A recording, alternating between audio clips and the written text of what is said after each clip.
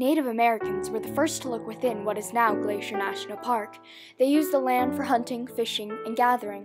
When the first white people arrived, they saw the opportunity for tourism and took it. They made several chalets and lodges that are still there today. Years later, in 1916, Glacier National Park was officially a national park. Many visit the park today to see the beautiful lakes, rivers, waterfalls, and obviously the glaciers.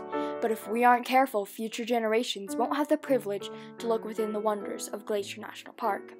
In 1966, there were 35 glaciers, but as of 2015, there were only 26. The size of the glaciers decreased 39% on average, but some were reduced by 85%.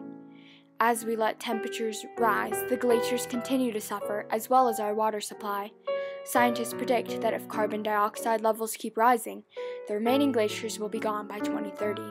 I know lots of adults think that climate change won't affect their lives and it's up to future generations to solve this global issue. However, in 10 years, the glaciers are going to be practically gone. It's not for us to solve, but for the world to work together and fix this dire situation. Look within yourself and help your descendants have a better world.